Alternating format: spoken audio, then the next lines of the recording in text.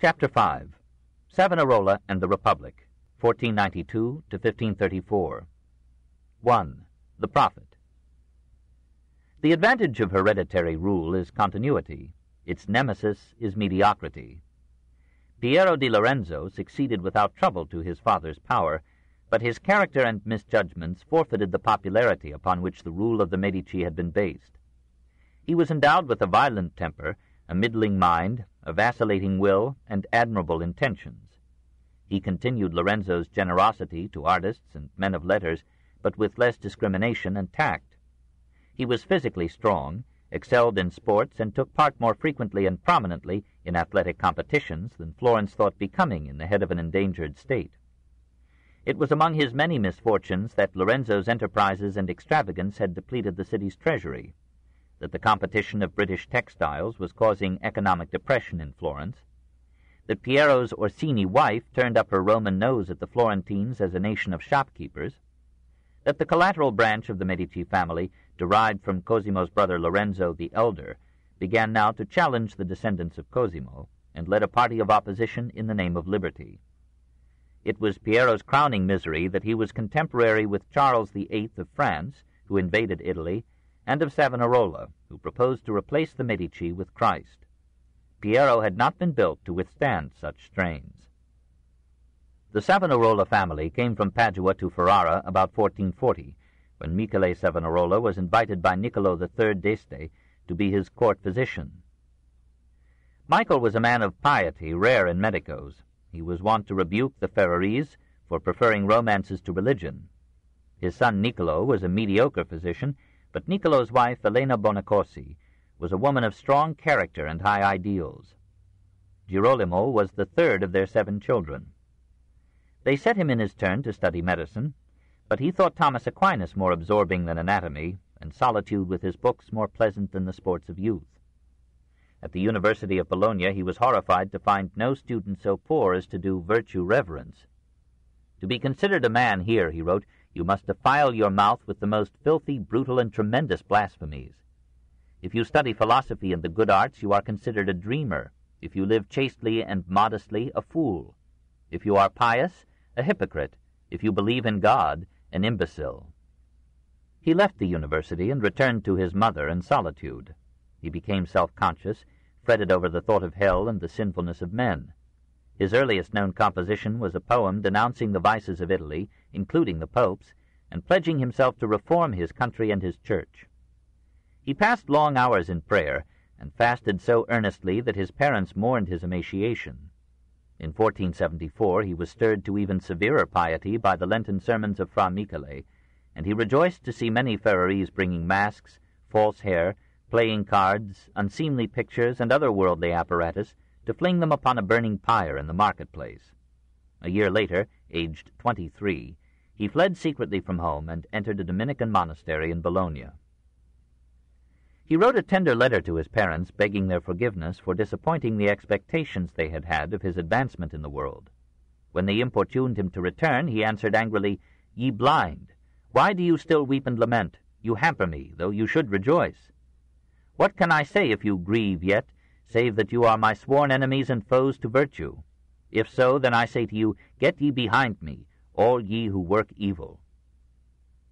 Six years he stayed in the Bologna convent. He proudly asked that the most humble tasks should be given him, but his talent as an orator was discovered, and he was set to preaching.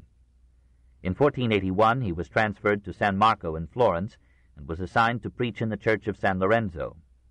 His sermons there proved unpopular, they were too theological and didactic for a city that knew the eloquence and polish of the humanists. His congregation dwindled week by week. The prior set him to instructing novices. It was probably in the next five years that his final character was formed. As the intensity of his feelings and purposes increased, they wrote themselves upon his features in a furrowed and frowning forehead, the thick lips tight with determination, the immense nose curving out as if to encompass the world, a countenance somber and severe, expressing an infinite capacity for love and hate, a small frame racked and haunted with visions, frustrated aspirations, and introverted storms. I am still flesh like you, he wrote to his parents, and the senses are unruly to reason, so that I must struggle cruelly to keep the demon from leaping upon my back. He fasted and flogged himself to tame what seemed to him the inherent corruption of human nature. If he personified the promptings of flesh and pride as satanic voices, he could with equal readiness personify the admonitions of his better self. Alone in his cell, he glorified his solitude by conceiving himself as a battleground of spirits hovering over him for evil or for good. Finally, it seemed to him that angels, archangels, were speaking to him. He accepted their words as divine revelations, and suddenly he spoke to the world as a prophet chosen to be a messenger of God. He avidly absorbed the apocalyptic visions attributed to the Apostle John, and inherited the eschatology of the mystic Joachim of Flora. Like Joachim, he announced that the reign of Antichrist had come, that Satan had captured the world, that soon Christ would appear to begin his earthly rule, and that divine vengeance would engulf the tyrants, adulterers, and atheists who seemed to dominate Italy. When his prior sent him to preach in Lombardy in 1486, Savonarola abandoned his youthful pedagogic style and cast his sermons into the form of denunciations of immorality, prophecies of doom, and calls to repentance. Thousands of people who could not have followed his earlier arguments listened with awe to the newly impassioned eloquence of a man who seemed to be speaking with authority. Pico della Mirandola heard of the friar's success. He asked Lorenzo to suggest to the prior that Savonarola should be brought back to Florence. Savonarola returned in 1489. Two years later he was chosen prior of San Marco, and Lorenzo found in him an enemy more forthright and powerful than any that had ever crossed his path. Florence was surprised to discover that the swarthy preacher who a decade before had chilled them with argument could now awe them with apocalyptic fantasies thrill them with vivid descriptions of the paganism, corruption, and immorality of their neighbors, lift up their souls to repentance and hope, and renew in them the full intensity of the faith that had inspired and terrified their youth. Ye women who glory in your ornaments, your hair, your hands, I tell you, you are all ugly. Would you see true beauty? Look at the pious man or woman in whom spirit dominates matter. Watch him when he prays, when a ray of the divine beauty glows upon him when his prayer is ended, you will see the beauty of God shining in his face. You will behold it as if it were the face of an angel. Men marveled at his courage, for he flayed the clergy and the papacy more than the laity, and the princes more than the people, and a note of political radicalism warmed the hearts of the poor. In these days there is no grace, no gift of the Holy Spirit, that may not be bought or sold. On the other hand, the poor are oppressed by grievous burdens, and when they are called to pay sums beyond their means, the rich cry unto them, Give me the rest. There be some who, having an income of fifty florins per year, pay a tax on one hundred, while the rich pay little, since the taxes are regulated at their pleasure. Bethink ye well, O rich, for affliction shall smite ye. This city shall no more be called Florence, but a den of thieves, of baseness and bloodshed. Then ye shall all be poverty stricken, and your name, O priests, shall be changed into a terror. After the priests, the bankers. You have found many ways of making money, and many exchanges which you call lawful, but which are most unjust. And you have corrupted the offices and magistrates of the city. No one can persuade you that usury, interest, is sinful. You defend it at the peril of your souls. No one is ashamed of lending at usury. Nay, those who do otherwise pass for fools. Your brow is that of a whore, and you will not blush.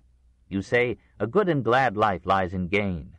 And Christ says, Blessed are the poor in spirit, for they shall inherit heaven. And a word for Lorenzo. Tyrants are incorrigible because they are proud, because they love flattery and will not restore ill-gotten gains. They hearken not unto the poor, and neither do they condemn the rich. They corrupt voters and farm out taxes to aggravate the burdens of the people. The tyrant is wont to occupy the people with shows and festivals, in order that they may think of their own pastimes and not of his designs, and, growing unused to the conduct of the commonwealth, may leave the reins of government in his hands. Nor shall that dictatorship be excused on the ground that it finances literature and art. The literature and art, said Savonarola, are pagan. The humanists merely pretend to be Christians. Those ancient authors whom they so sedulously exhume and edit and praise are strangers to Christ and the Christian virtues, and their art is an idolatry of heathen gods or a shameless display of naked women and men. Lorenzo was disturbed. His grandfather had founded and enriched the monastery of San Marco. He himself had given to it lavishly. It seemed to him unreasonable that a friar who could know little of the difficulties of government and who idealized a liberty that had been merely the right of the strong to use the weak without hindrance by law, should now undermine from a Medici shrine that public support upon which the political power of his family had been built. He tried to appease the friar. He went to Mass in San Marcos and sent the convent rich gifts. Savonarola scorned them and remarked in a subsequent sermon that a faithful dog does not leave off barking in his master's defense because a bone is thrown to him. When he found an unusually large sum in gold in the alms box, he suspected that it came from Lorenzo and gave it to another monastery, saying that silver sufficed the needs of his brethren. Lorenzo sent five leading citizens to argue with him that his inflammatory sermons would lead to useless violence and were unsettling the order and peace of Florence. Savonarola answered by telling them to bid Lorenzo do penance for his sins. A Franciscan friar famous for eloquence was encouraged to preach popular sermons with a view to drawing the Dominican's audience away. The Franciscan failed. Greater throngs than ever before came to San Marco until its church could no longer hold them.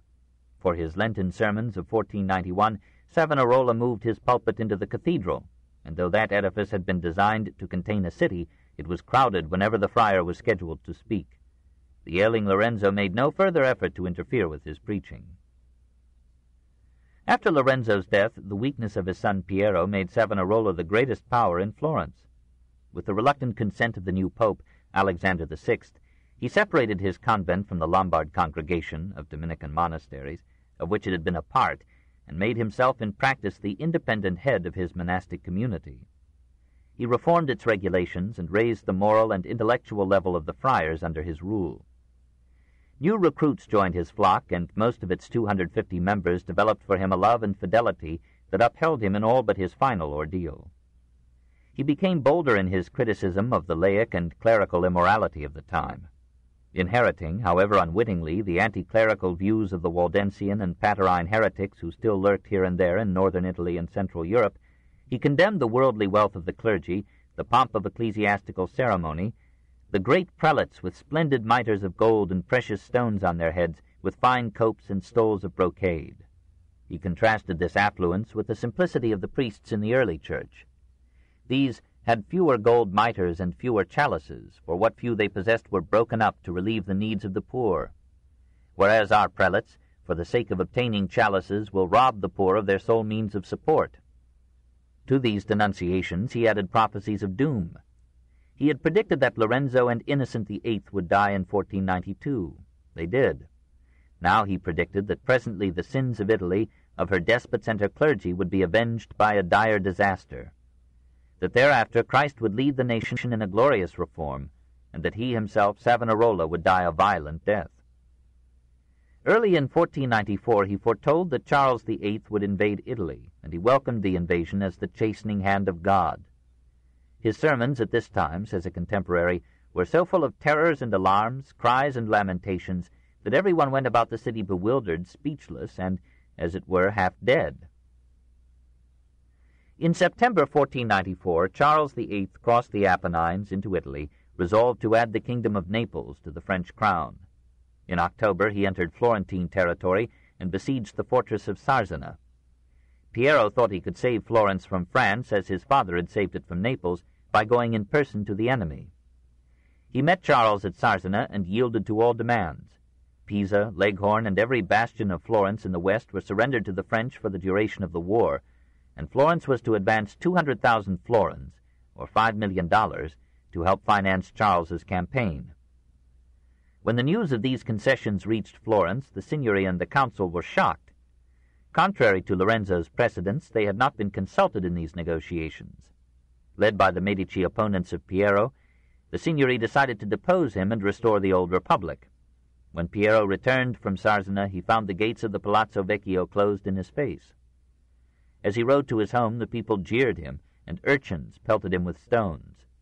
Fearing for his life, he fled from the city with his family and brothers. The populace sacked the Medici palace and gardens and the homes of Piero's financial agents. The art collection gathered by four generations of Medici was plundered and scattered, and its remains were sold at auction by the government. The Signory offered a reward of 5,000 florins for the delivery of Piero and Cardinal Giovanni de' Medici alive, 2,000 for their delivery dead. It sent five men, including Savonarola, to Charles at Pisa to ask for better terms. Charles met them with noncommittal courtesy. When the delegation had left, the Pisans tore the lion and lilies of Florence from their buildings and declared their independence. Charles entered Florence, consented to some slight modification of his demands, and, eager to get to Naples, led his army to the south. Florence addressed itself now to one of history's most spectacular experiments in democracy. 2. The Statesman On December 2nd, 1494, the citizens were summoned to a Parlamento by the great bell in the Palazzo Vecchio tower. The Signory asked and received the power to name twenty men, who would appoint a new Signory and new magistrates for a year, after which all offices were to be filled by lot from a register of the approximately 3,000 enfranchised males. The twenty dismissed the councils and agencies which, under the Medici, had considered and administered public affairs, and divided the divers functions among themselves. They were inadequately experienced for these tasks, and were torn by family factions. The new governmental machinery broke down, and chaos was imminent. Commerce and industry hesitated, Men were thrown out of work, and angry crowds gathered in the streets. Piero Capponi persuaded the twenty that order could be saved only by inviting Savonarola into their councils. The friar summoned them to his monastery and expounded to them an ambitious program of political, economic, and moral legislation. Under his leadership and that of Pietro Soderini, the twenty devised a new constitution, partly modeled on that which was so successfully maintaining stability in Venice. A Maggior Concilio, or Great Council, was to be formed of men who, or their ancestors in the preceding three generations, had held a major office in the state, and these initial members were to choose twenty-eight additional councillors in each year. The executive organs of the government were to remain essentially as under the Medici, a signory of eight friars and a gonfalonier, chosen by the council for a term of two months, and various committees, the twelve, the sixteen, the ten, the eight, to carry on administration, taxation, and war. Complete democracy was postponed as impractical in a society still largely illiterate and subject to waves of passion. But the Great Council, numbering almost 3,000 members, was considered to be a representative body. Since no room in the Palazzo Vecchio could house so large an assemblage, Simone Pollaiuolo, Il Cronaca, was engaged to redesign part of the interior into a Sala dei Cinquecento, or Hall of the Five Hundred, where the council could meet in sections. Here, eight years later, Leonardo da Vinci and Michelangelo would be commissioned to paint opposed walls in a famous rivalry. Through Savonarola's influence and eloquence, the proposed constitution received public acclaim, and the new republic came into operation on June 10, 1495. It began amiably by issuing amnesty to all supporters of the deposed Medici regime. With self-respecting generosity, it abolished all taxes except a 10% levy on income from real property.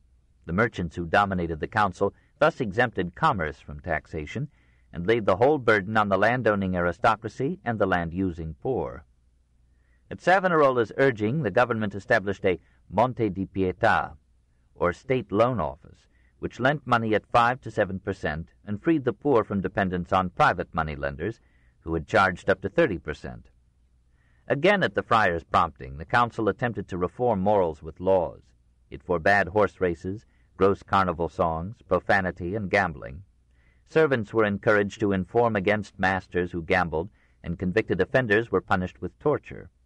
Blasphemers had their tongues pierced, and homosexuals were degraded with merciless penalties.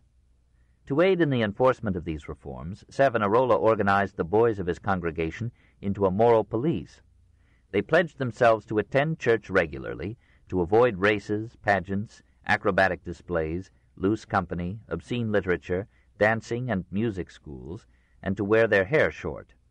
These bands of hope roamed the streets soliciting alms for the church. They dispersed groups that had gathered to gamble, and tore from the bodies of women what they judged to be indecent dress. For a time the city accepted these reforms. Many women gave them enthusiastic support, behaved modestly, dressed plainly, and put aside their jewelry.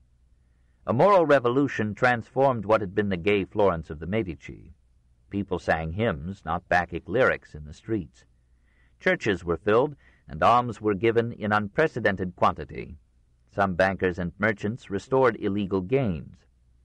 Savonarola called upon all the population, rich and poor, to shun idleness and luxury, to work assiduously, and to give a good example with their lives. Your reform, he said, must begin with the things of the Spirit. Your temporal good must serve your moral and religious welfare, on which it depends. And if you have heard it said that states are not ruled by paternosters, remember that this is the rule of tyrants, a rule for oppressing, not for liberating a city. If you desire a good government, you must restore it to God. He proposed that Florence should think of its government as having an invisible king, Christ himself, and under this theocracy he predicted utopia. O Florence, then wilt thou be rich with spiritual and temporal wealth. Thou wilt achieve the reformation of Rome, of Italy, of all countries. The wings of thy greatness shall spread over the world.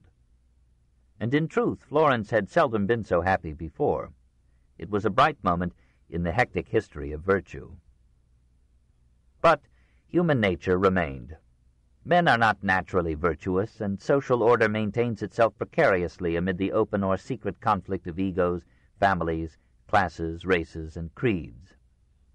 A powerful element in the Florentine community itched for taverns, brothels, and gambling halls as outlets for instincts or as sources of gain the Pazzi, the Nerli, the Capponi, the younger branch of the Medici, and other aristocrats who had effected the expulsion of Piero, were furious at seeing the government fall into the hands of a friar. Remnants of Piero's party survived and watched for a chance to restore him and their fortunes. The Franciscan friars worked with religious zeal against the Dominican Savonarola, and a small group of skeptics called for a plague on both their houses. These diverse enemies of the new order agreed in satirizing its supporters as piagnoni, or weepers, for many wept at Savonarola's sermons, collitorti, or wry-necks, stropiccioni, or hypocrites, mastica paternostri, or prayer munchers, and the recipients of these titles denominated their opponents, from the virulence of their hostility, arrabbiati, mad dogs. Early in 1496, the Arrabbiati succeeded in electing their candidate for Gonfalonier, Filippo Corbizzi. Having assembled in the Palazzo Vecchio a council of ecclesiastics, he summoned Savonarola before it and, accused him of political activities improper in a friar. And several churchmen, including one of his own Dominican order, joined in the charge. He replied, Now the words of the Lord are fulfilled. The sons of my mother have fought against me. To be concerned with the affairs of this world is no crime in a monk unless he should mix in them without any higher aim, and without seeking to promote the cause of religion. They challenged him to say whether his sermons were inspired by God, but he refused to answer. He returned to his cell a sadder man. He might have overcome his enemies had foreign affairs favored him. The Florentines, who praised liberty, were furious at Pisa for demanding and securing it. Even Savonarola dared not defend the rebellious city, and a cathedral canon who remarked that the Pisans too had a right to be free was severely punished by a Piagnone signory. Savonarola promised to restore Pisa to Florence, and rashly claimed that he held Pisa in the hollow of his hands. But he was, as Machiavelli scornfully said, a prophet without arms. When Charles VIII was chased from Italy, Pisa consolidated its independence by an alliance with Milan and Venice and the Florentines mourned that Savonarola had tied them to Charles's falling star, and that they alone had not shared in the glorious expulsion of the French from Italy. Before abandoning the lately Florentine fortresses of Sarzana and Pietrasanta, their French commandants had sold one to Genoa and the other to Lucca. Montepulciano, Arezzo, Volterra, and other Florentine dependencies were agitated by movements for liberation. The once proud and powerful city seemed on the verge of losing nearly all its outlying possessions, and all its trade outlets by the Arno, the Adriatic, and the roads to Milan and Rome. Trade suffered, tax revenues fell. The council tried to finance the war against Pisa by forced loans from rich citizens, offering them government bonds in return. But as bankruptcy neared, these bonds declined to 80 to 50 to 10 percent of their face value. In 1496 the treasury was exhausted, and the government imitated Lorenzo by borrowing money from a fund confided to the state to provide dowries for poor brides. In the administration of government funds, whether by Arrabbiati or Piagnoni, corruption and incompetence rose and spread. Francesco Valori, made Gonfalonier in January 1497 by a Piagnone majority in the council, maddened the mad dogs by excluding them from all magistracies, denying them membership in the council if they were delinquent in taxes, allowing none but Piagnoni to address the council, and expelling from Florence any Franciscan friar who preached against Savonarola. For eleven months in 1496, rain fell almost daily, ruining the crops of the narrowed hinterland. In 1497, people dropped dead of hunger in the streets. The government opened relief stations to provide grain for the poor. Women were crushed to death in the multitudes that applied. The Medician party plotted to restore Piero. Five leaders were detected and were condemned to death in 1497. Appeal to the council, guaranteed by the Constitution, was refused them. They were executed within a few hours of their condemnation and many Florentines contrasted the faction violence and severity of the Republic with the order and peace of Lorenzo's time. Hostile crowds repeatedly demonstrated before Savonarola's monastery. Piagnoni and Arrabbiati stoned each other in the streets. When the friar preached on Ascension Day of 1497, his sermon was interrupted by a riot in which his enemies tried to seize him and were repulsed by his friends. A gonfalonier proposed to the signory that he should be banished as a means of quieting the city, and the proposal was lost by a single vote. Amid this bitter collapse of his dream, Savonarola faced and defied the strongest power in Italy. 3. The Martyr Pope Alexander VI was not deeply disturbed by Savonarola's criticism of the clergy or of the morals of Rome. He had heard the like before. Hundreds of ecclesiastics, for centuries past, had complained that many priests lived immoral lives and that the popes loved wealth and power more than became the vicars of Christ. Alexander was of a genial temperament. He did not mind a little criticism so long as he felt secure in the apostolic chair. What disturbed him in Savonarola was the friar's politics, not the semi-democratic nature of the new constitution. Alexander had no special interest in the Medici, and perhaps preferred in Florence a weak republic to a strong dictatorship. Alexander feared another French invasion, he had joined in forming a league of Italian states to expel Charles VIII and to discourage a second French attack. He resented the adherence of Florence to its alliance with France, considered Savonarola the power behind this policy, and suspected him of secret correspondence with the French government. Savonarola wrote to Charles VIII about this time three letters, seconding the proposal of Cardinal Giuliano della Rovere that the king should call a general council of ecclesiastics and statesmen to reform the church and depose Alexander as an infidel and a heretic.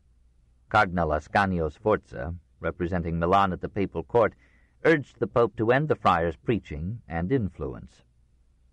On July 21, 1495, Alexander wrote a brief note to Savonarola.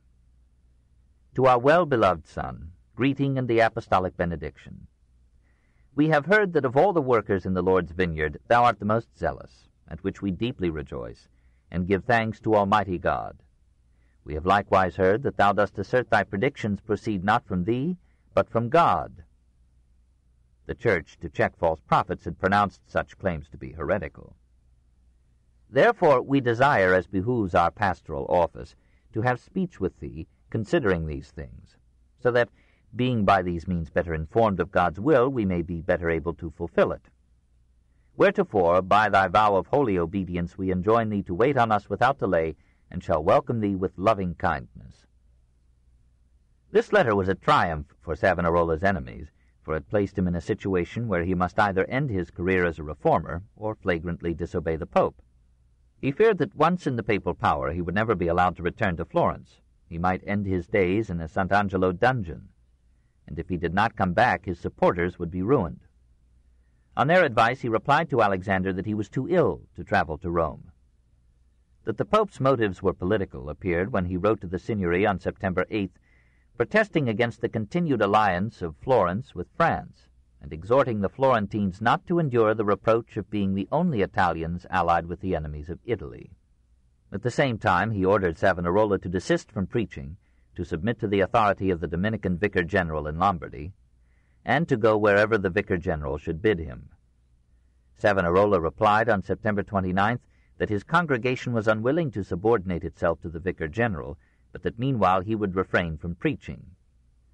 Alexander, in a conciliatory response on October 16th, repeated his prohibition of preaching and expressed the hope that when Savonarola's health should permit, he would come to Rome, to be received in a joyful and fatherly spirit. There, for a year, Alexander let the problem rest. Meanwhile, the prior's party had recaptured control of the council and the signory. The emissaries of the Florentine government in Rome besought the Pope to withdraw his interdict on the friars' preaching, urging that Florence needed his moral stimulus in Lent. Alexander seems to have given a verbal consent, and on February 17, 1496, Savonarola resumed his preaching in the cathedral. About this time, Alexander commissioned a learned Dominican bishop to examine Savonarola's published sermons for heresy.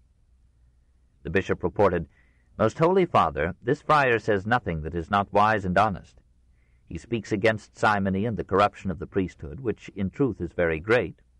He respects the dogmas and authority of the Church, wherefore I would rather seek to make him my friend, if need be by offering him the cardinal's purple. Alexander complacently sent a Dominican to Florence to offer Savonarola the red hat. The friar felt not complimented, but shocked. This to him was but another instance of simony. His answer to Alexander's emissary was, Come to my next sermon, and you will have my reply to Rome. His first sermon of the year reopened his conflict with the Pope. It was an event in the history of Florence. Half the excited city wished to hear him, and even the vast Duomo could not contain all who sought entry, though within they were crowded so tightly that no one could move. A group of armed friends escorted the prior to the cathedral.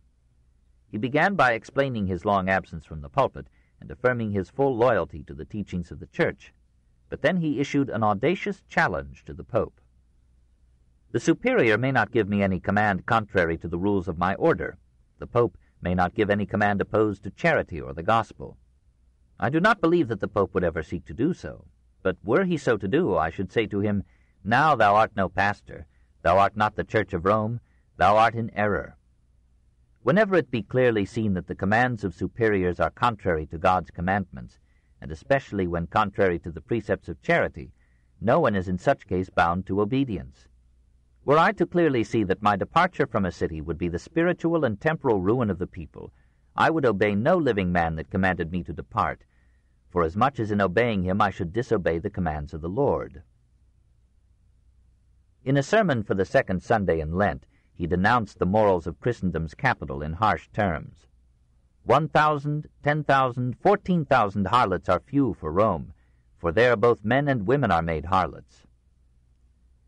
These sermons were spread throughout Europe by the new marvel, the printing press, and were read everywhere, even by the Sultan of Turkey. They aroused a war of pamphlets in and out of Florence, some of them accusing the friar of heresy and indiscipline, others defending him as a prophet and a saint. Alexander sought an indirect escape from open war. In November 1496, he ordered the union of all Tuscan Dominican monasteries in a new Tuscan Roman congregation, to be directly under the authority of Padre Giacomo da Sicilia. Padre Giacomo was favorably disposed toward Savonarola but would presumably accept a papal suggestion to transfer the friar to another environment. Savonarola refused to obey the order of union and took his case over the head of the Pope to the public at large in a pamphlet called An Apology of the Brethren of San Marco. This union, he argued, is impossible, unreasonable, and hurtful, nor can the Brethren of San Marco be bound to agree to it, inasmuch as superiors may not issue commands contrary to the rules of the order, nor contrary to the law of charity or the welfare of our souls. Technically, all monastic congregations were directly subject to the popes. A pope might compel the merger of congregations against their will. Savonarola himself, in 1493, had approved Alexander's order uniting the Dominican congregation of St. Catherine's at Pisa, against its will, with Savonarola's congregation of St. Mark. Alexander, however, took no immediate action. Savonarola continued to preach and issued to the public a series of letters defending his defiance of the Pope. As the Lenten season of 1497 approached, the Arrabbiati prepared to celebrate Carnival by such festivities, processions, and songs as had been sanctioned under the Medici. To counter these plans, Savonarola's loyal aide, Fra Domenico, instructed the children of the congregation to organize a quite different celebration. During the week of Carnival, preceding Lent, these boys and girls went about the city in bands, knocked at doors, and asked for, sometimes demanded, the surrender of what they called vanities or cursed objects, anathemaze, pictures considered immoral, love songs, carnival masks and costumes, false hair, fancy dresses, playing cards, dice, musical instruments, cosmetics, wicked books like the Decameron or the Morgante Maggiore. On the final day of Carnival, February 7th, the more ardent supporters of Savonarola, singing hymns, marched in solemn procession behind a figure of the infant Jesus carved by Donatello and borne by four children in the guise of angels to the Piazza della Signoria. There a great pyramid of combustible material had been raised, sixty feet high and two hundred forty feet in circumference at the base. Upon the seven stages of the pyramid, the vanities, collected during the week, or now brought to the sacrifice, were arranged or thrown, including precious manuscripts and works of art. Fire was set to the pyre at four points, and the bells of the Palazzo Vecchio were rung to acclaim this first Savonarolan burning of the vanities. The Lenten sermons of the friar carried the war to Rome. While accepting the principle that the Church should have some terra firma of temporal power, he argued that the wealth of the Church was the source of her deterioration. His invective knew no bounds. The earth teems with bloodshed, yet the priests take no heed. Rather, by their evil example, they bring spiritual death upon all. They have withdrawn from God, and their piety consists in spending their nights with harlots. They say that God hath no care of the world, that all cometh by chance. Neither believe they that Christ is present in the sacrament. Come hither, thou ribald church. The Lord saith, I gave thee beautiful vestments, but thou hast made idols of them. Thou hast dedicated the sacred vessels to vainglory, the sacraments to simony. Thou hast become a shameless harlot in thy lusts. Thou art lower than a beast. Thou art a monster of abomination. Once thou felt shame for thy sins, but now thou art shameless. Once anointed priests called their sons nephews, but now they speak of their sons. A reference to Alexander the Sixth's candor about his children. And thus, O prostitute church, Thou hast displayed thy foulness to the whole world, and stinkest unto heaven. Savonarola suspected that such tirades would earn him excommunication. He welcomed it. Many of ye say that excommunication will be decreed. For my part, I beseech thee, O Lord, that it may come quickly. Bear this excommunication aloft on a lance. Open the gates to it. I will reply to it. And if I do not amaze thee, then thou mayest say what thou wilt. O Lord, I seek only thy cross. Let me be persecuted. I ask this grace of thee. Let me not die in my bed, but let me give my blood for thee, even as thou gavest thine for me. These passionate sermons created a furor throughout Italy. Men came from distant cities to hear them. The Duke of Ferrara came in disguise. The crowd overflowed from the cathedral into the square, and each striking sentence was relayed from those within to those without. In Rome, the people turned almost unanimously against the friar and called for his punishment. In April 1497, the Arrabbiati secured control of the council, and, on pretext of danger from the plague, forbade all preaching in the churches after May 5th. Urged on by Roman agents of the Arrabbiati, Alexander signed a decree excommunicating the friar on May 13th. But he let it be known that he would rescind the excommunication if Savonarola would obey the summons to Rome. The prior, fearing imprisonment, still refused, but for six months he held his peace. Then on Christmas Day he sang High Mass at San Marco, gave the Eucharist to his friars, and led them in a solemn procession around the square. Many were scandalized at an excommunicate celebrating Mass, but Alexander made no protest. On the contrary, he intimated that he would withdraw the excommunication if Florence would join the League to resist a second invasion from France. The Signory, gambling on the success of the French, rejected the proposal. On February 11, 1498, Savonarola completed his rebellion by preaching in San Marco. He denounced the excommunication as unjust and invalid, and charged with heresy any man who should uphold its validity. Finally, he issued an excommunication himself. Therefore on him that giveth commands opposed to charity, anathema sit.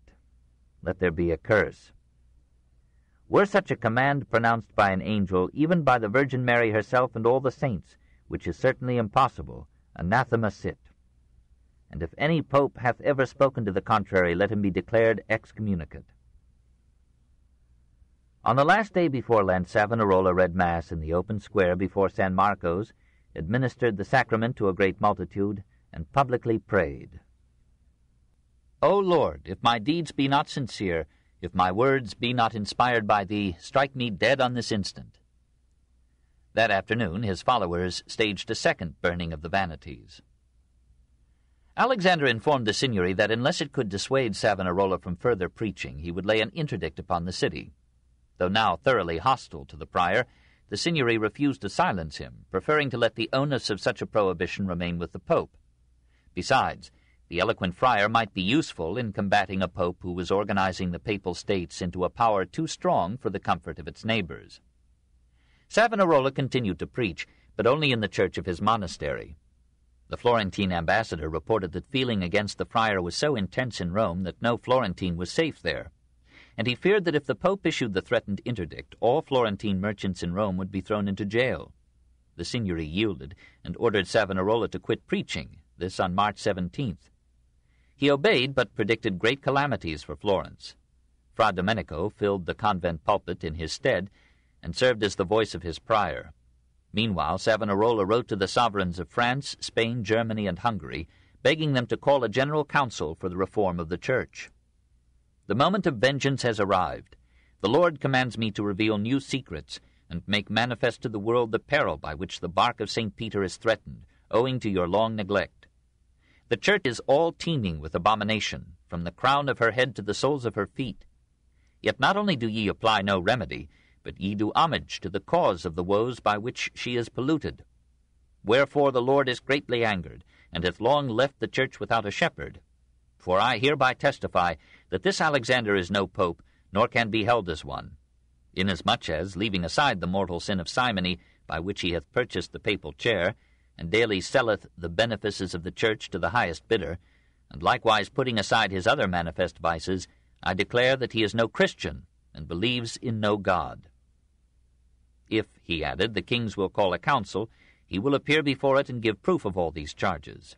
One of these letters was intercepted by a Milanese agent, and was sent to Alexander. On March 25, 1498, a Franciscan friar, preaching in the church of Santa Croce, turned the drama of the case upon himself by challenging Savonarola to an ordeal of fire. He stigmatized the Dominican as a heretic and false prophet, and offered to walk through fire if Savonarola would do the same. He expected, he said, that both of them would be burned, but hoped by his sacrifice to free Florence from the disorders that had been caused by a proud Dominican's disobedience of the Pope. Savonarola rejected the challenge. Domenico accepted it. The hostile signory seized the chance to discredit a prior who in its view had become a troublesome demagogue. It approved of the resort to medieval methods and arranged that on April 7th, Fra Giuliano Rondinelli of the Franciscans and Fra Domenico da Pescia should enter a fire in the Piazza della Signoria. On the appointed day, the great square was filled with a crowd eager to enjoy a miracle or the sight of human suffering. Every window and roof overlooking the scene was occupied with spectators. In the center of the square, Athwart a passage two feet wide, twin pyres had been erected of wood mixed with pitch, oil, resin, and gunpowder, guaranteed to make a searing flame. The Franciscan friars took their stand in the Loggia dei Lanzi.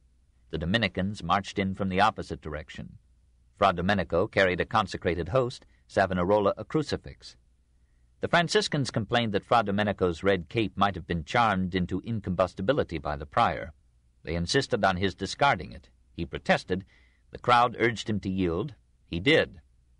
The Franciscans asked him to remove other garments which they thought might have been charmed. Domenico consented, went into the palace of the Signory, and changed clothes with another friar. The Franciscans urged that he should be forbidden to approach Savonarola, lest he be re-enchanted. Domenico submitted to being surrounded by Franciscans. They objected to his carrying either a crucifix or a consecrated host into the fire. He surrendered the crucifix but kept the host, and a long theological discussion ensued between Savonarola and the Franciscans, as to whether Christ would be burned along with the appearances of bread. Meanwhile, the Franciscan champion remained in the palace, begging the signory to save him by any ruse. The priors allowed the discussions to go on till darkness fell, and then announced that the ordeal could no longer take place. The crowd, cheated of blood, attacked the palace, but was repulsed. Some Arrabbiati tried to seize Savonarola, but his guard protected him. The Dominicans returned to San Marco, jeered by the populace, though apparently the Franciscans had been the chief cause of delay. Many complained that Savonarola, after claiming that he was inspired by God and that God would protect him, had allowed Domenico to represent him in the ordeal instead of facing it himself. These thoughts spread through the city, and almost overnight the prior's following faded away. On the morrow, Palm Sunday, a mob of Arrabbiati and others marched to attack the monastery of San Marco. On the way they killed some Piagnoni, including Francesco Valori. His wife, drawn to a window by his cries, was shot through with an arrow. His house was pillaged and burned. One of his grandchildren was smothered to death. The bell of San Marco tolled to call the Piagnoni to the rescue, but they did not come. The friars prepared to defend themselves with swords and clubs. Savonarola in vain bade them lay down their arms, and himself stood unarmed at the altar, awaiting death. The friars fought valiantly. Fra Enrico wielded his sword with secular delight, accompanying each blow with a lusty cry, Salvum fac populum tuum, Domine. Save thy people, Lord. But the hostile crowd was too numerous for the friars. Savonarola finally prevailed upon them to lay down their arms, and when an order came from the signory for his arrest and that of Domenico, the two surrendered and were led through a mob that jeered, struck, kicked, and spat upon them, to cells in the Palazzo Vecchio. On the following day, Fra Silvestro was added to the prisoners. The signory sent to Pope Alexander an account of the ordeal and arrest, begged his absolution for the violence committed on an ecclesiastic, and asked his authorization to subject the prisoners to trial and, if necessary, to torture. The Pope urged that the three friars should be sent to Rome to be tried before an ecclesiastical court. The signory refused, and the Pope had to be content with having two papal delegates share in examining the accused. The signory was resolved that Savonarola should die. As long as he lived, his party would live. Only his death, they thought, could heal the strife of factions that had so divided the city and its government that alliance with Florence had become worthless to any foreign power, and Florence lay open to internal conspiracy or external attack. Following the custom established by the Inquisition, the examiners put the three friars to torture on various occasions between April 9th and May 22nd. Silvestro succumbed at once and answered so readily as the examiners wished that his confession was too facile to be useful. Domenico resisted to the last. Tortured to the verge of death, he continued to avow that Savonarola was a saint without guile or sin. Savonarola, high-strung and exhausted, soon collapsed under torture and gave whatever replies were suggested to him. Recovering, he retracted the confession. Tortured again, he yielded again. After three ordeals, his spirit broke, and he signed a confused confession that he had no divine inspiration, that he had been guilty of pride and ambition, that he had urged foreign and secular powers to call a general council of the Church, and that he had plotted for the deposition of the Pope. On charges of schism and heresy, of revealing confessional secrets as pretended visions and prophecies, of causing faction and disorder in the state, the three friars were condemned to death by the united sentence of state and church. Alexander graciously sent them absolution. On May 23, 1498, the parricide republic executed its founder and his comrades. Unfrocked and barefoot, they were led to the same Piazza della Signoria where twice they had burned the vanities. As then, and as for the trial by ordeal, a great crowd gathered for the sight, but now the government supplied it with food and drink. A priest asked Savonarola, In what spirit do you bear this martyrdom? He answered, The Lord has suffered much for me. He kissed the crucifix that he carried, and did not speak again. The friars walked bravely to their doom, Domenico almost joyfully, singing a Te Deum in gratitude for a martyr's death. The three men were hanged from a gibbet, and boys were allowed to stone them as they choked. A great fire was lighted under them and burned them to ashes. The ashes were thrown into the Arno lest they be worshipped as the relics of saints. Some Piagnoni, braving incrimination, knelt in the square and wept and prayed. Every year until 1703, on the morning after the 23rd of May, flowers were strewn on the spot where the hot blood of the friars fell. Today, a plaque in the pavement marks the site of the most famous crime in Florentine history. Savonarola was the Middle Ages, surviving into the Renaissance, and the Renaissance destroyed him. He saw the moral decay of Italy under the influence of wealth and a declining religious belief, and he stood bravely, fanatically, vainly against the sensual and skeptical spirit of the times. He inherited the moral fervor and mental simplicity of medieval saints, and seemed out of place and key in a world that was singing the praises of rediscovered pagan Greece. He failed through his intellectual limitations and a forgivable but irritating egotism. He exaggerated his illumination and his capacity, and naively underestimated the task of opposing at once the power of the papacy and the instincts of men. He was understandably shocked by Alexander's morals, but intemperate in his denunciations and intransigent in his policy. He was a Protestant before Luther only in the sense of calling for a reform of the Church. He shared none of Luther's theological dissents. But his memory became a force in the Protestant mind. Luther called him a saint. His influence on literature was slight, for literature was in the hands of skeptics and realists like Machiavelli and Guicciardini. But his influence on art was immense.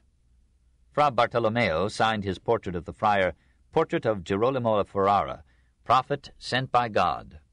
Botticelli turned from paganism to piety under Savonarola's preaching. Michelangelo heard the friar frequently and read his sermons devotedly. It was the spirit of Savonarola that moved the brush over the ceiling of the Sistine Chapel and traced behind the altar the terrible Last Judgment. The grandeur of Savonarola lay in his effort to achieve a moral revolution, to make men honest, good, and just. We know that this is the most difficult of all revolutions, and we cannot wonder that Savonarola failed where Christ succeeded with so pitiful a minority of men. But we know, too, that such a revolution is the only one that would mark a real advance in human affairs, and that beside it the bloody overturns of history are transient and ineffectual spectacles, changing anything but man. 4. The Republic and the Medici, 1498 to 1534. The chaos that had almost nullified government in the later years of Savonarola's ascendancy was not mitigated by his death. The brief term of two months allowed to each seigneury and gonfalonier made for a hectic discontinuity in the executive branch, and inclined the priors to irresponsibility and corruption. In 1502, the council, dominated by a triumphant oligarchy of rich men, sought to overcome part of this difficulty by electing the gonfalonier for life, so that while still subject to Signory and council, he might face the popes and the secular rulers of Italy on terms of equal tenure. The first man to receive this honor was Pietro Soderini, a millionaire friendly to the people, an honest patriot, whose powers of mind and will were not so eminent as to threaten Florence with dictatorship. He enlisted Machiavelli among his advisers, governed prudently and economically, and used his private fortune to resume that patronage of art which had been interrupted under Savonarola. With his support, Machiavelli replaced the mercenary troops of Florence with a citizen militia, which finally, in 1508, forced Pisa to yield again to a Florentine protectorate. But in 1512 the foreign policy of the Republic brought on the disaster that Alexander VI had foretold. Through all the efforts of the Holy League of Venice, Milan, Naples, and Rome to rid Italy of its French invaders, Florence had persisted in its alliance with France. When victory crowned the League, it turned in revenge upon Florence and sent its troops to replace the Republican oligarchy with a Medicean dictatorship. Florence resisted, and Machiavelli labored strenuously to organize its defense. Its outpost, Prato, was taken and sacked, and Machiavelli's militia turned and fled from the trained mercenaries of the League. Soderini resigned to avoid further bloodshed. Giuliano de' Medici, son of Lorenzo, having contributed 10,000 ducats, or a quarter of a million dollars, to the League treasury, entered Florence under the protection of Spanish, German, and Italian arms. His brother, Cardinal Giovanni, soon joined him. The Savonarolan constitution was abolished, and the Medician ascendancy was restored. This in 1512. Giuliano and Giovanni behaved with moderation, and the public, surfeited with excitement, readily accepted the change. When Giovanni became Leo X in 1513, Giuliano, having proved too gentle to be a successful ruler, yielded the government of Florence to his nephew Lorenzo. This ambitious youth died after six years of reckless rule. Cardinal Giulio de' Medici, son of the Giuliano who had been slain in the Pazzi conspiracy, now gave Florence an excellent administration. and after he became Clement VII in 1521, he ruled the city from the papal chair. Florence took advantage of his misfortunes to expel his representatives in 1527, and for four years it again enjoyed the trials of liberty. But Clement tempered defeat with diplomacy and used the troops of Charles V to avenge his ousted relatives. An army of Spanish and German troops marched upon Florence in 1529 and repeated the story of 1512.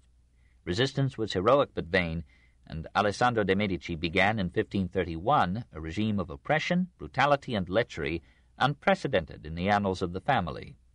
Three centuries would pass before Florence would know freedom again. 5.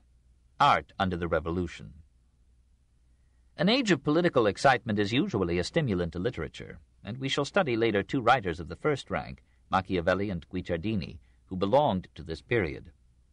But a state always verging on bankruptcy and engaged in almost permanent revolution does not favor art, and least of all architecture. Some rich men, skilled in floating on a flood, still gave hostages to fortune by building palaces. So Giovanni Francesco and Aristotele da Sangallo, working on plans by Raphael, raised a palatial mansion for the Pandolfini family. In 1520-24, Michelangelo designed for Cardinal Giulio de' Medici a nuova sagrestia, or new sacristy, for the Church of San Lorenzo, a simple quadrangle and modest dome, known to all the world as the home of Michelangelo's finest sculptures, the tombs of the Medici. Among the Titan's rivals was the sculptor Pietro Torrigiano, who worked with him in Lorenzo's garden of statuary and broke his nose to win an argument. Lorenzo was so incensed by this violence that Torrigiano took refuge in Rome. He became a soldier in Caesar Borgia's service, fought bravely in several battles, found his way to England, and designed there one of the masterpieces of English art, the tomb of Henry VII in Westminster Abbey, this in 1519. Wandering restlessly to Spain, he carved a handsome Madonna and Child for the Duke of Arcos. But the Duke underpaid him. The sculptor smashed the statue to bits. The vengeful aristocrat denounced him to the Inquisition as a heretic. Torrigiano was sentenced to severe punishment, but cheated his foes by starving himself to death. Florence had never had so many great artists at one time as in 1492, but many of them fled from her turbulence and lent their renown to other scenes. Leonardo went to Milan, Michelangelo to Bologna, Andrea Sansovino to Lisbon. Sansovino took his cognomen from Monte San Savino, and made it so famous that the world forgot his real name, Andrea di Domenico Contucci. Born the son of a poor laborer, he developed a passion for drawing and for modeling in clay. A kindly Florentine sent him to the studio of Antonio del Pollaiuolo. Maturing rapidly, he built for the church of Santo Spirito a chapel of the sacrament, with statues and reliefs so vigorous and excellent, said Vasari, that they are without a flaw and before it he placed a bronze grill that halts the breath with its beauty. King John II of Portugal begged Lorenzo to send the young artist to him. Andrea went and labored nine years there in sculpture and architecture. Lonesome for Italy, he returned to Florence in 1500, but soon passed to Genoa and finally to Rome. In Santa Maria del Popolo, he built two marble tombs for Cardinals Sforza and Basso della Rovere, which won him high acclaim in a city then, in 1505 to 1507, buzzing with geniuses. Leo X sent him to Loreto, and there, from 1523 to 1528, Andrea adorned the church of Santa Maria with a series of reliefs from the life of the Virgin, so beautiful that the angel in the Annunciation seemed to Vasari not marble but celestial. Soon afterward, Andrea retired to a farm near his native Monte San Savino, lived energetically as a peasant, and died in 1529, aged 68. Meanwhile, the Della Robbia family had faithfully and skilfully carried on the work of Luca in glazed clay. Andrea della Robbia exceeded in longevity even the eighty-five years of his uncle, and had time to train three sons in the art, Giovanni, Luca, and Girolamo. Andrea's terracottas have a brilliance of tone and a tenderness of sentiment that snare the eye and still the feet of the museum traveler. A room in the Bargello is rich with him, the Hospital of the Innocents is distinguished by his decorative lunette of the Annunciation. Giovanni della Robbia rivaled his father Andrea's excellence, as one may see in the Bargello and the Louvre. The della Robbias almost confined themselves to religious subjects through three generations. They were among the most fervent supporters of Savonarola. and two of Andrea's sons joined the Brethren of San Marco to seek salvation with the friar. The painters felt Savonarola's influence most deeply. Lorenzo di Credi learned his art from Verrocchio, imitated the style of his fellow student Leonardo, and took the tenderness of his religious pictures from the piety nurtured in him by Savonarola's eloquence and fate. He spent half his life painting Madonnas. We find them almost everywhere, in Rome, Florence, Turin, Avignon, Cleveland. The face is poor, the robes magnificent. Perhaps the best is the Annunciation in the Uffizi. At the age of seventy-two, feeling it time to take on the savor of sanctity, Lorenzo went to live with the monks of Santa Maria Nuova, and there, six years later, he died. Piero di Cosimo took his cognomen from his teacher Cosimo Rosselli, for he who instructs ability and promotes well-being is as truly a father as the one who begets. Cosimo came to the conclusion that his pupil surpassed him. Summoned by Sixtus IV to decorate the Sistine Chapel, he took Piero with him, and Piero painted there the destruction of Pharaoh's troops in the Red Sea, with a gloomy landscape of water, rocks, and cloudy sky. He has left us two magnificent portraits, both in The Hague, of Giuliano da Sangallo and Francesco da Sangallo. Piero was all artist, caring little for society or friendship, loving nature and solitude, absorbed in the pictures and scenes that he painted. He died unconfessed and alone, having transmitted his art to two pupils who followed his example by surpassing their master, Fra Bartolomeo and Andrea del Sarto. Baccio della Porta took his last name from the gate of San Piero, where he lived. When he became a friar, he received the name Fra Bartolomeo, Brother Bartholomew. Having studied with Cosimo Rosselli and Piero di Cosimo, he opened a studio with Mariotto Albertinelli, painted many pictures in collaboration with him, and remained bound to him in a fine friendship till parted by death. He was a modest youth, eager for instruction and receptive to every influence. For a time he sought to catch the subtle shading of Leonardo. When Raphael came to Florence, Baccio studied perspective with him and better blending of colors. Later he visited Raphael in Rome and painted with him a noble head of St. Peter. Finally he fell in love with the majestic style of Michelangelo, but he lacked the terrible intensity of that angry giant, and when Bartolomeo attempted the monumental, he lost in the enlargement of his simple ideas the charm of his qualities, the rich depth and soft shading of his colors, the stately symmetry of his composition, the piety and sentiment of his themes. He was deeply stirred by the sermons of Savonarola, he brought to the burning of the vanities all his paintings of the nude. When the enemies of the friar attacked the convent of San Marco in 1498, he joined in its defense. In the course of the melee, he vowed to become a monk if he survived. He kept his pledge, and in 1500 he entered the Dominican monastery at Prato. For five years he refused to paint, giving himself up to religious exercises. Transferred to San Marco, he consented to add his masterpieces in blue, red, and black to the rosy frescoes of Fra Angelico. There, in the refectory, he painted a Madonna and Child and a Last Judgment. In the cloisters, a St. Sebastian, and in Savonarola's cell, a powerful portrait of the friar in the guise of St. Peter Martyr. The St. Sebastian was the only nude that he painted after becoming a monk. Originally it was placed in the church of San Marco, but it was so handsome that some women confessed to having been stirred to wicked thoughts by it, and the prior sold it to a Florentine who sent it to the King of France. Fra Bartolomeo continued to paint until 1517, when disease so paralyzed his hands that he could no longer hold the brush. He died in that year at the age of 45. His only rival for supremacy among the Italian painters of this period was another disciple of Piero di Cosimo. Andrea Domenico d'Agnolo di Francesco Vanucci is known to us as Andrea del Sarto because his father was a tailor. Like most Renaissance artists, he developed quickly, beginning his apprenticeship at seven. Piero marveled at the lad's skill in design, and noted with warm approval how Andrea, when a holy day closed the studio, spent his time drawing the figures in the famous cartoons made by Leonardo and Michelangelo for the Hall of the Five Hundred in the Palazzo Vecchio. When Piero became in old age too eccentric a master, Andrea and his fellow student Franciabigio set up their own bottega and for some time worked together. Andrea seems to have begun his independent career by painting, in the court of the Annunziata Church in 1509, five scenes from the life of San Filippo Benizzi, a Florentine noble who had founded the Order of the Servites for the special worship of Mary. These frescoes, though sorely injured by time and exposure, are so remarkable for draftsmanship, composition, vividness of narrative, and the soft merging of warm and harmonious colors that this atrium is now one of the goals of art pilgrims in Florence. For one of the female figures, Andrea used as model the woman who in the course of these paintings became his wife, Lucrezia del Fede, a sensuously beautiful shrew whose dark face and raven hair haunted the artist to all but his dying days. In 1515, Andrea and Franciabigio undertook a series of frescoes in the cloisters of the Scalzo fraternity. They chose as subject the life of St. John the Baptist.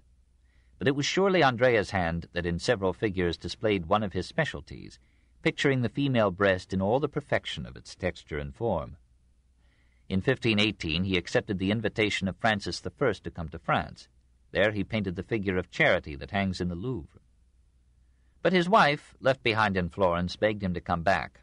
The king granted permission on Andrea's pledge to return, and entrusted him with a considerable sum to buy works of art for him in Italy.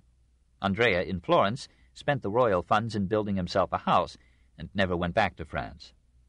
Facing bankruptcy, nevertheless, he resumed his painting, and produced for the cloisters of the Annunziata a masterpiece which, said Vasari, in design, grace, excellence of coloring, vivacity, and relief, proved him far superior to all his predecessors, who included Leonardo and Raphael. This Madonna del Sacco, absurdly so called because Mary and Joseph are shown leaning against a sack, is now damaged and faded, and no longer conveys the full splendor of its color, but its perfect composition, soft tones, and quiet presentation of a family, with Joseph, suddenly literate, reading a book, make it one of the great pictures of the Renaissance.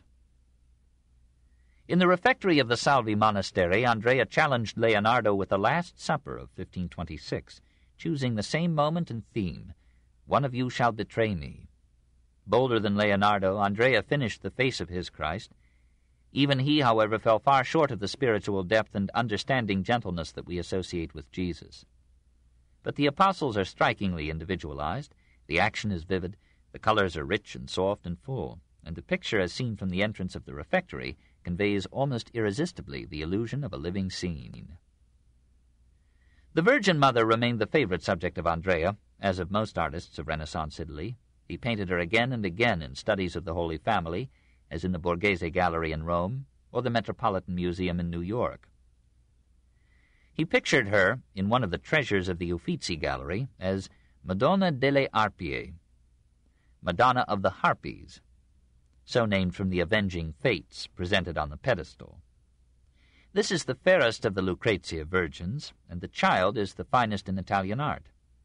Across the Arno in the Pitti Gallery, the Assumption of the Virgin shows apostles and holy women looking up in amazement and adoration as cherubim raise the praying Madonna, again Lucrezia, to heaven.